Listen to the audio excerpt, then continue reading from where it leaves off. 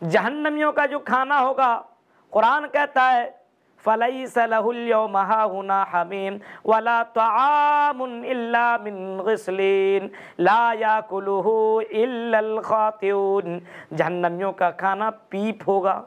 ذرا بتائیے، کبھی تصور کیجیے، سوچئے، پیپ کو آدمی دیکھ کر کے الٹی ہونے لگتی ہے۔ لیکن جہنمیوں کو یہی پلایا جائے گا، پیپ ہی۔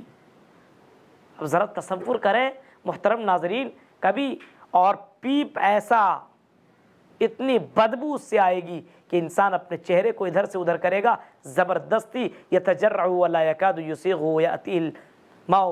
اللہ تبارک و تعالیٰ فرماتا ہے کہ زبردستی اس کو پلایا جائے گا۔ زبردستی، اور اس کو پینا پڑے گا۔ جب انسان اس کو پی لے گا تو اور تکلیف بڑھ جائے گی۔ لا یموت فیہا ولا یحیا، وہاں نہ موت آئے گی۔ نہ وہاں پہ زندگی ہوگی، انسان کی زندگی اٹک جائے گی۔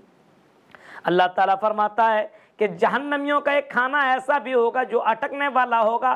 ان لدینان کالا و جہیما جہنمیوں کا کھانا ایسا ہوگا جو اٹکنے والا ہوگا۔ وہ تعامن ذا غصت و اللہ تعالیٰ فرماتا ہے کہ جب بندہ اس کو کھائے گا، جب جہنمی لوگ اس کو کھائیں گے، گنہگار لوگ اس کو کھائیں گے، تو وہ کھانا اس کے گلے میں اٹک جائے گا۔ گلے میں۔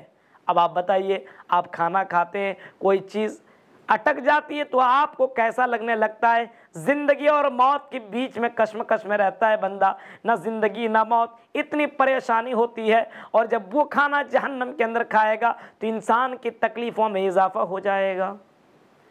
جہنم کے اندر اس طریقے کے کھانا اللہ تبارک و تعالیٰ نے گنہگاروں کے لیے تیار کر رکھا ہے۔